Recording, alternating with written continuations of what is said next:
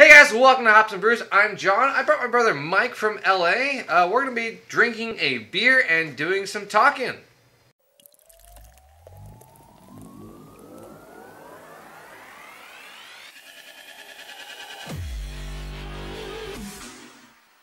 So, like I said, we're just going to be having a beer. Uh, we'll be talking a little bit about the beer, but we're also just going to be doing some kind of, I don't know, bar talk. A little different, actually. A little bit different. like- kind of more like what you would experience at a bar with someone of just talking.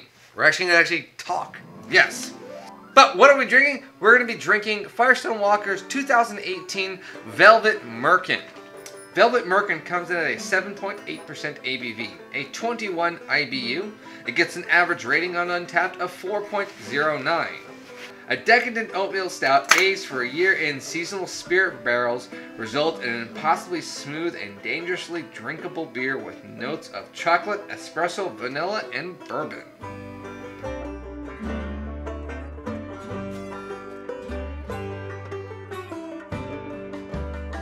All right, so let's uh, try this beer really quick, and All right. let's just drink. I mean, really, right? Ooh. It's not bad. It's Hmm. not. It's not super thick. It's supposed to be bourbon barrel aged. It's a little boozy. It's a little thin. It's a I little. Think, I think it's, yeah, a it's little, thin. It is. It is definitely a little thin. It's not um, this high percentage. It's only seven eight, so it really is kind of like a regular beer almost. Yeah, basically. Um, it's so it's an oatmeal stout. I, I taste a little bit of a kind of an oaty dryness, Yeah. which is what oatmeal stouts usually have. Um, there's a sweetness from some bourbon, but it's just like I'm trying to like uh, remind myself like say like it, would I actually want to drink this like on on the on the uh, porch or something on the porch, yeah, or on like or something relaxing or wherever. Yeah. Where where does this fit? Where does this fit? Um, I don't. Know. I don't know the I don't- fire. I don't, I don't like, do, know. like do, I just don't know. I don't know. Yeah, you're right. I, I really just don't know where this beer Where falls fits. into. Yeah. It's okay. Yeah. This is basically like, you know, like after you, you get off of work and like, you know, the kids are actually asleep and you're watching TV and like you have a beer. That's what it is. A beer, maybe. A beer. A beer. Yeah, I wouldn't even probably take this and pour it into a glass. I'd probably still drink it out of the bottle.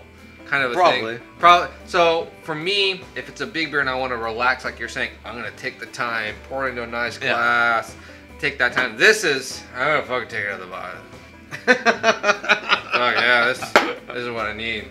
That's the kind of bourbon barrel aged rare beer this tastes like.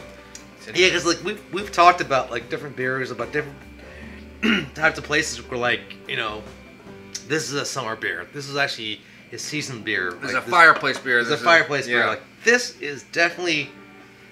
I mean, I don't know. What, just don't know where I to don't put know what it. to do with I it. I don't don't know know. How to, I don't know how to put this. I, I No. really don't know. I really don't. This is like a, a Marvel beer, like when you actually watch Captain Marvel, or or, or like Captain America. I I was gonna say this is more like a DC beer. Oh well, let's not go there.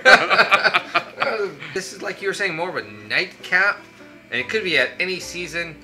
uh, But I don't think it's fancy enough to be the only beer you ever have. Of this is what I'm craving. This is more of like the appetizer before I have the craving beer. This almost tastes like stew beer. Like I want to put braised beef with this, and and and there's not a whole lot to enjoy what this beer is. That's what I get. dude, I don't know. I I, I, I might, dude. I'm kind of disagree with you on that. That, that's fine. This I- is actually, I mean, it's a good beer. it's a good beer. Eh, I'm not disputing that it's, It's not a, good beer. I mean, like it's not a great beer, but it's a good beer. It's it's like, like for me, like we were talking about beforehand. I was like, dude, like I don't drink beer. yeah, I like stouts. yeah. You know, like this.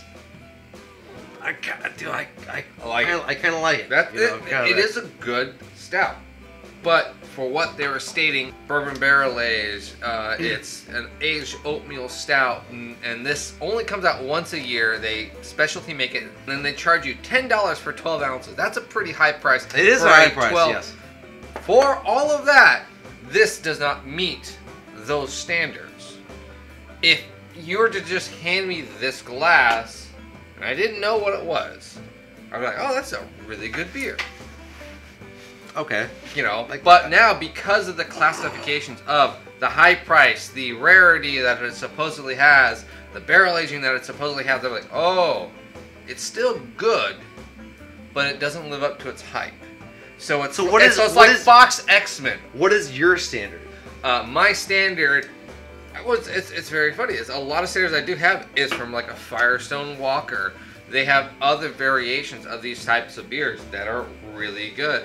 I have um, Bottle Logic, which Dave and I just had.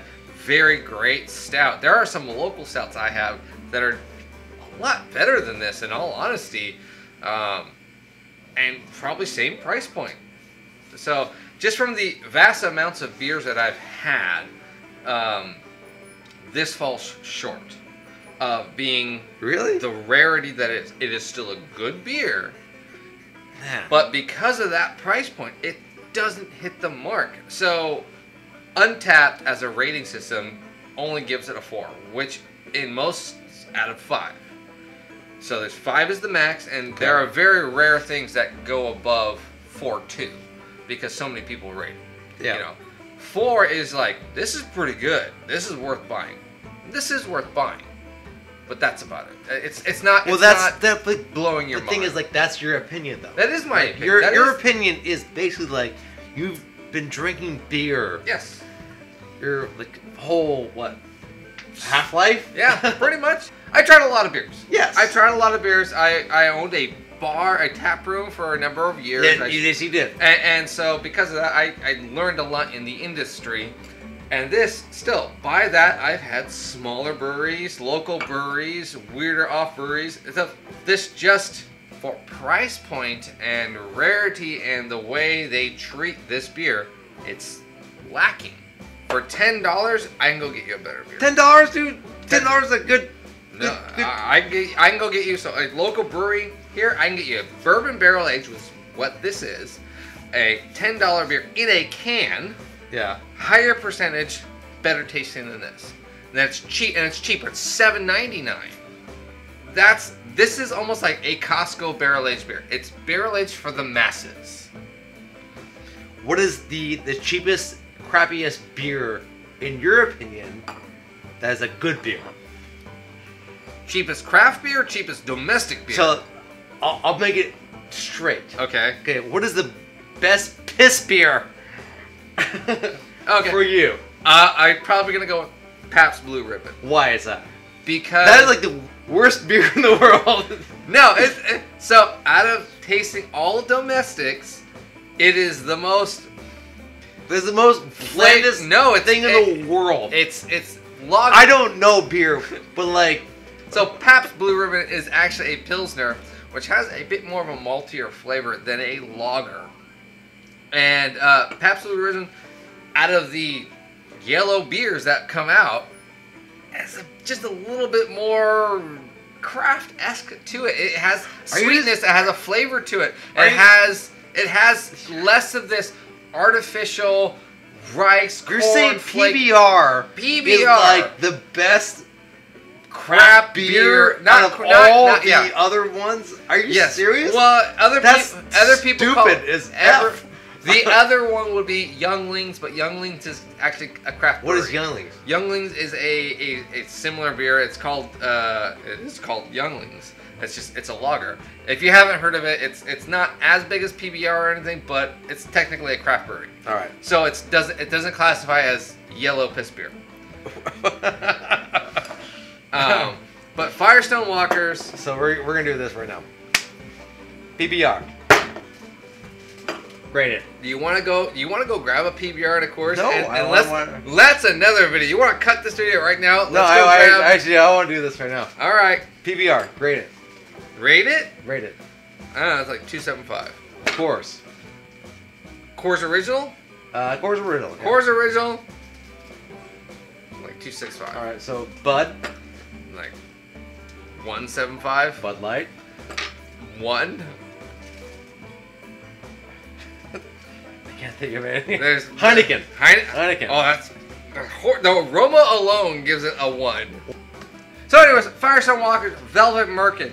We both agree it's a good beer. It's a good beer. It's a good beer. Mike thinks that it's pretty much worth the price and a great beer, and you'd probably enjoy having it. Yeah, I think so. I think it's a good beer, but I think it's overpriced. I think it's worth probably having a sample of it if you find a drop, but 10 bucks for 12 ounces, a bourbon barrel age, I think you could probably find something local that's going to be a bit better, but if you're looking for that check-in on Untappd, go ahead and buy it.